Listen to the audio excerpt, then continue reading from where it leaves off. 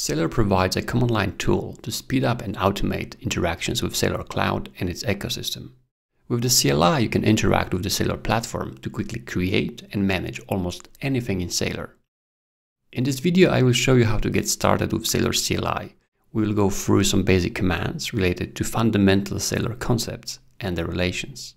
This should provide a good overview of the CLI and its capabilities, designed to improve development experience with Saleor. To get started, we need to install the Saleor CLI using npm or any other node package manager such as yarn or pnpm. In this video, I will be using pnpm, so it's pnpm add g for global Saleor CLI.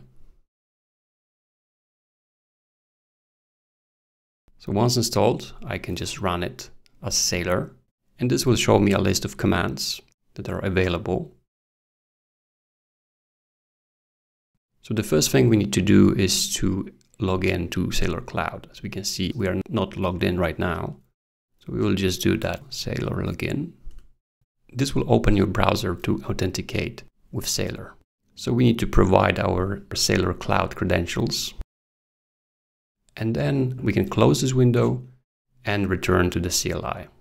As you can see, we are successfully logged into the Saleor Cloud. And now we can run Saleor again and here at the top, we can see that we are logged in. We can also run Saleor status to see our login status. So when you're using Saleor CLI, you need to be logged into the Saleor API, but you can also optionally be logged into the Vercel and GitHub, and this will automate certain tasks like deploying and managing your GitHub repositories. So let's run against Saleor without any parameters. And the first command we will be checking is Saleor organization, which has an alias org. So I can say Saleor organization or just Saleor org. And this will show me all the commands related to managing my organizations. Usually you will have only one organization, but let's see if that's the case in my example. So indeed, I have just one organization. I can use show with the slug to show the details of, the, of this organization. And if I need JSON, I can just add JSON this is useful for automating tasks, for example, on your continuous integration or just generally consuming JSON is, is much easier. You can also remove your organization. We won't be doing that right now. Check the permissions and then set the default organization if you have more than one. The next command we'll be checking is Saleor environment with an alias env. So let's check that in environment or just env. And once again, let's see which environments are available. So environment in Saleor is an instance of your Saleor API. In this case, I have only one environment, and this environment is in production with this particular version. As with organizations, I can uh, see the details. This time I need to use the key. And again, if I need to have it in JSON format. We can also create a new environment. So let's try to do that. I will call it foo. And I need to select the project. And then I need to select the database template. So I can have a blank. This is mostly the case if you're creating a new production setup. But we can also have a sample data already filled in in your database so you can just play with it. So let's go with sample. And then we can set up the prefix for our domain. So I will keep it with foo. If it already exists, we're getting this error and we can just change it to, for example, bar. I would like to enable dashboard access I will keep the admin login the same as the one associated with the Saleor Cloud, and I don't want to restrict the access. And it, will take a while to create a new environment. So once it's being created, we can open a new window and we can run Saleor job list for foo.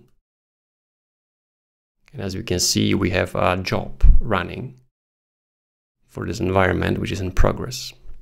It seems the environment has been created. Let me close that.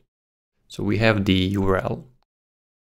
So we use the bar as the prefix, and that's the URL we created for this environment. And we can also deploy a storefront, because usually when you're creating a commerce solution, it's not only the API, but you also want to have a storefront. But in this case, we will not be doing that right now. So let's go ahead and open the playground first. We can try to run a simple query. So let's see. I'll be taking first 10 products and I will display the name. I need to specify the channel, so it's default channel. And I have 10 products. Let's go back and let's run again Saleor env list to list the environment. I have two now. One is production and one is sandbox. Sandbox means that you are testing your environment and once you are ready, you can promote it to production. So in order to promote an environment using CLI, we use just promote with the environment key. We can also populate the database as we did when creating so for example, if you change your mind, you can create a blank database and then populate it.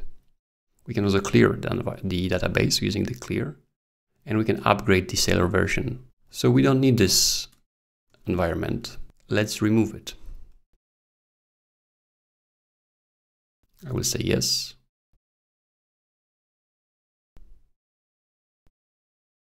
This will also take a while. We need to downgrade all the services and remove them. Let's run Saleor env list again to see if the environment is removed, and it is. And finally, let's talk about backups. So there's another command backup, and you can create a backup of your environment at any time. So let's try to do that. So first let's list available backups. As I have only one environment, I don't need to select that there is automatic backup being made each day. But we can also do a custom backup with the create command. Let's do Saleor backup create my little backup. And the backup is created.